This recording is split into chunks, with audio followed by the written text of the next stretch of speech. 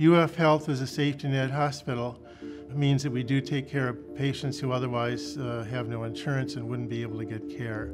So the Duval County here works with the UF Health with a specific program that allows those patients to be seen and cared for. We also take care of a large number of trauma patients. This is the main level one trauma center for both North Florida and South Georgia. Within the Division of Nephrology, we have several different programs. One of the major programs we have is our clinical program that exposes all of our trainees to dialysis, pre-dialysis, acute and chronic kidney disease. Another aspect of our program is translational as well as basic research. The third aspect is an educational program that we provide here in different forms of kidney disease. Translational research goes hand in hand with clinical care.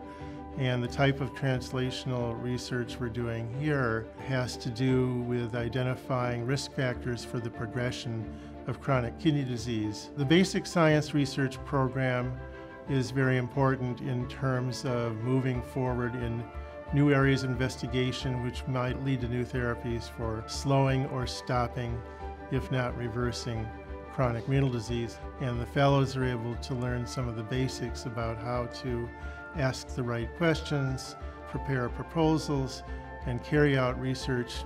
Here at uh, UF Health Jacksonville, we have two trained transplant nephrologists. And uh, we want to make sure that the patients that we serve here are served well. Also, we want to make sure that uh, we take care of the uh, community folks who have had a kidney transplant.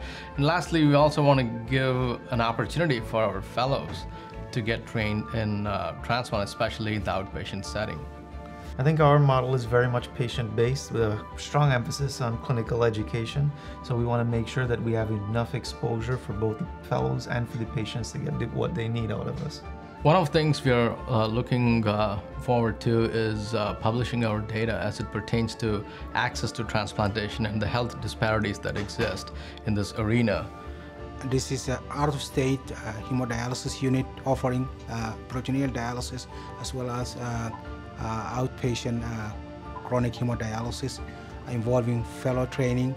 It's composed of two units, one with 40 hemodialysis chair and the other one with 24 hemodialysis chair. They both involved in the fellow educations during the fellowship training. The programs that we provide for our fellow trainees are extremely important. Some of our trainees will go into clinical medicine when they finish their, their training, others will go into research, but our exposure to the various aspects of our division and what we provide them helps prepare them for the future, no matter what they go into. Simulation Lab is very special to our training program. It allows us to train our fellows with procedures such as kidney biopsies and placing central lines. The Simulation Lab is an extremely sophisticated facility. We can take pictures and cameras of the trainees as they're doing the procedure. We guide them through the procedure. We can then go back and look at the video presentation that was made and let them look at it and see where they went right, where they went wrong, and how we can correct any errors they may have before they actually do the procedure on a living patient. The research has uh, worldwide impact.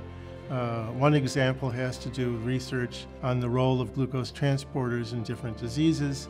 Our focus uh, currently has to do with scarring of the kidney. So based upon early findings we had in animals that show that diabetic levels of glucose upregulate the glucose transport system in mesangial cells, we designed transgenic mice to overexpress the glucose transporter, in this case GLUT1, in the mesangial cells when there's no diabetes present. And uh, what that shows is that you can recreate many of the features of diabetic kidney disease simply by this upregulation of the glucose transport system without having diabetes per se present. So it's research that's recognized worldwide. And uh, it's an area that really is relatively new, investigating really new mechanisms about how glucose and glucose metabolism are involved in the scarring process in many different types of kidney disease. We have a couple of uh, other clinical projects in our division.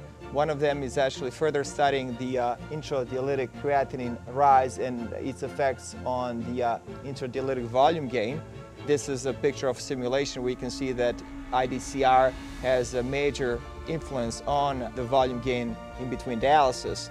we have shown the same effects uh, clinically as far as the uh, uh, low uh, IDCR values associated with volume gain, and actually they contribute to uh, excess mortality in uh, patients. We have great aspirations for the future of our division and the rest of the, of the UF Health. We will continue to recruit trainees as we are currently doing presently. We'd like to expand our program. We have a new campus up in North Campus where we will eventually have our trainees go there, and we'll continue maintaining the same aspects, educational, clinical, as well as research aspects of our program during the time of our expansion.